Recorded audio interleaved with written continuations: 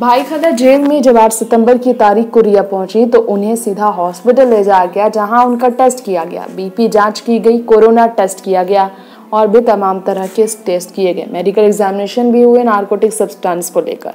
और सारी report normal निकली, यानी कि कोरोना टेस्ट नेगेटिव निकली रिया। लेकिन जेल के अंदर रिया चक्रवर्ती आज भी यही कहती हैं कि वहाँ कैदियों के साथ रहने में उन्हें कोरोना वायरस के संक्रमण में आने का डर है। और जैसा कि सभी जानते ही हैं कि अभी दोषी करार नहीं दिया गया, रिया सिर्फ़ और सिर्फ़ मुख्य आरोपी है सुशांत मामले में।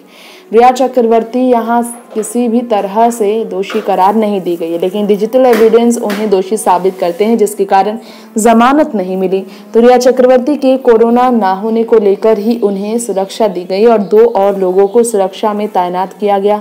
रिया को अलग सेल में रखा गया, जो कि इंद्रानी मुखर्जी के जस्ट अपोजिट था। इसके बाद अब खबर आई है कि रिया चक्रवर्ती को 22 सितंबर के बाद जेल से रिहाई मिल सकती है, क्योंकि रिया चक्रवर्ती को टेस्ट रिपोर्ट में नेगेटिव पाया गया था। साढ़े सात बजे कोर्ट में पेशी हुई थी और उसके बाद रिया को जेल भेजा गया, लेकिन दोबारा से टेस्ट रिप चेक किया जाएगा। टेस्ट रिपोर्ट आने की जानकारी है क्योंकि कोरोना वायरस जेल में भी फैला है और मुंबई में जिस तेज़ी से कोरोना का कहर मच रहा है और इस कारण से तमाम लोगों के बीच रिया चक्रवर्ती उन कैदियों के बीच रहने से परेशान है। महिला कैदियों के बीच रिया चक्रवर्ती को खाने के दौरान लंच के दौरान डिनर के दौरान या फिर ब्रेकफास्ट के दौरान सबसे मिलना पड़ता है। इस कारण से रिया बहुत परेशान है।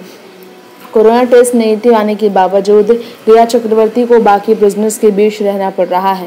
वैसे कोरोना महामारी के कारण रिया चक्रवर्ती को भले ही अभी जमानत ना मिली हो, लेकिन कैदियों की रिहाई पर सुप्रीम कोर्ट ने फैसले देने की बात की थी, क्योंकि कई कैदियों का समय जब ज़्यादा हो गया है तो उन्हें निकालने की बात हुई थी। सेक्टर इलेवन से लेकर अभी तक तमाम ऐसे जगहों से कोरोना वायरस के संक्रमण में आने वाले ऐसे अनगिनत व्यक्ति पाए गए हैं जो किसी और की वजह से परेशान रहे। ऐसे में रिया चक्रवर्ती को कोरोना की वजह से बड़ा झटका लगा क्योंकि कोरोना की महामारी का बहाना मारकर भी वो नहीं निकल पाई जेल से और कोर्ट ने फैसला नहीं लिया, क्योंकि पूरे के पूरे केस में पानी फिर सकता है, पूरी मेहनत पलट सकती थी। इस कारण से कोरोना वायरस के संक्रमण में रिया चक्रवर्ती को ना लाया जाए, इस कारण से उन्हें अलग सेल में रखा गया, लेकिन कोरोना का बहाना रिया की रिहाई के लिए, रिया को जमानत के लिए बिल्कुल भी नहीं चली।